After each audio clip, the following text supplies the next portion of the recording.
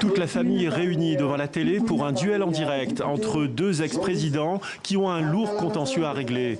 Marc Ravalmanan a dirigé Madagascar pendant huit ans avant d'être chassé du pouvoir par Andrzej en 2009.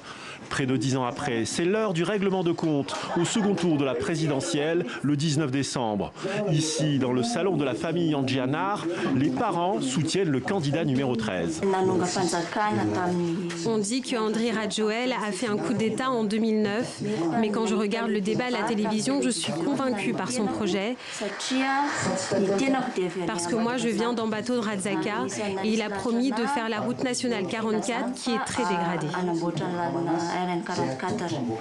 Une certaine tension est palpable, car malgré l'avance de trois points au premier tour de leurs favoris, le match sera serré face au candidat numéro 25.